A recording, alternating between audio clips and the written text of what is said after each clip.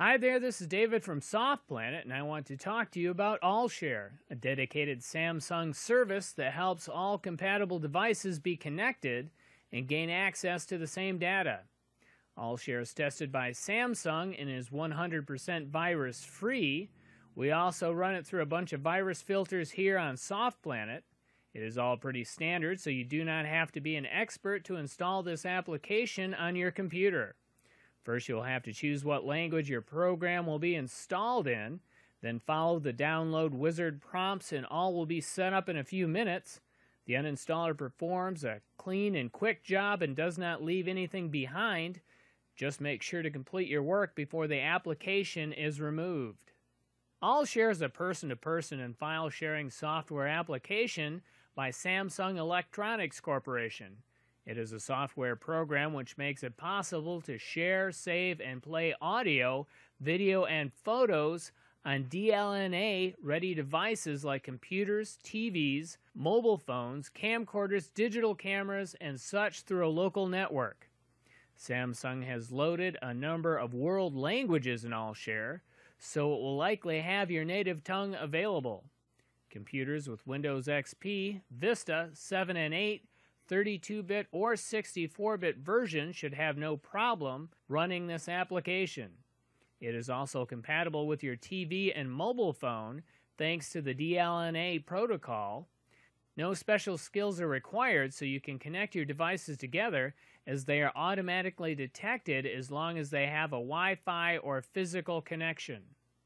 The very first thing which AllShare will do when it is launched for the first time is to pop up the connection setting wizard and check for a shared server.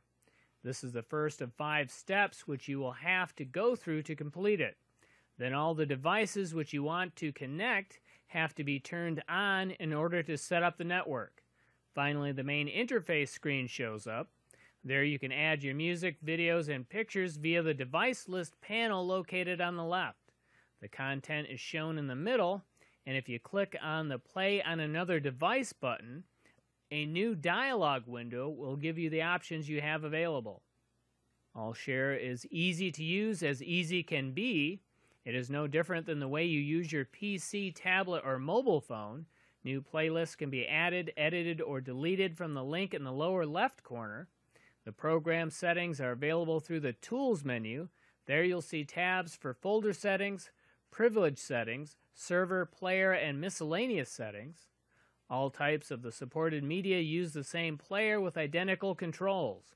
Pretty much your standard play, pause, forward, and back controls, so you should have no trouble figuring out what does what. AllShare is a thoroughly modern sharing and media app.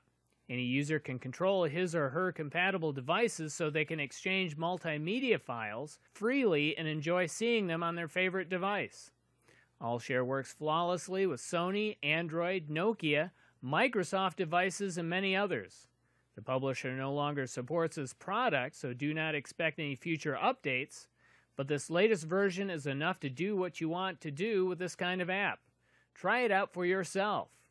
Check out the full review on softplanet.com as always and download it if you so desire by clicking on the link in the description below and following the instructions on the Soft Planet page. Thank you kindly.